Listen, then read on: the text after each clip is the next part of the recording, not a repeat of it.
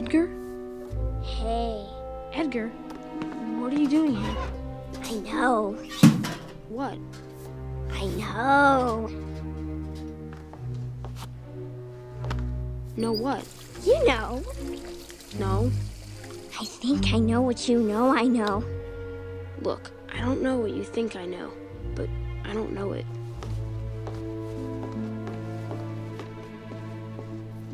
Your dog is alive! That's impossible.